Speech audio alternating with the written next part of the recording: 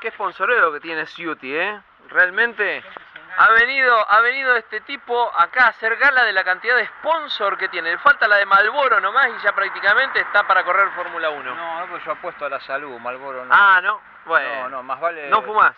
Eh, no, no. Pero podríamos poner Fernet Branca, alguno. Ah, bueno, ya, ya está relacionando otro O tipo de disfrute. Martini. Muy bien. No, no, va a venir nueva...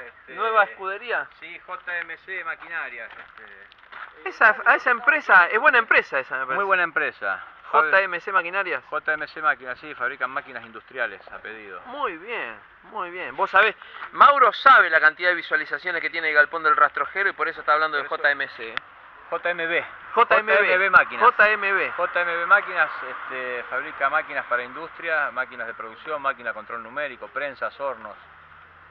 Bien, buena Sabe calidad. mucho, sabe mucho de esa empresa, Mauro, ¿eh? JMB. Acá estamos pasando. Debo tener algún conocido. Acá lo tenemos a, a Miguel también. ¿Entró Miguel? Entró. Muy bien, fantástico. Con Miguel estuvimos alivianando el avispón verde, estuvimos tirando por la ventanilla para alimentar un poco a la fauna de acá del lugar, las cáscaras de queso que nos vinimos comiendo y la y la piel de, de los salamines. Y bueno, la cáscara de queso caía justo en la boca de, de Mauro. ¿Eh? Ahí está, ahí está.